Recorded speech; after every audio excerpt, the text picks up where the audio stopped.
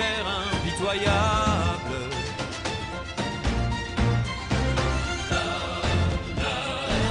Glorifie la loi du plus fort.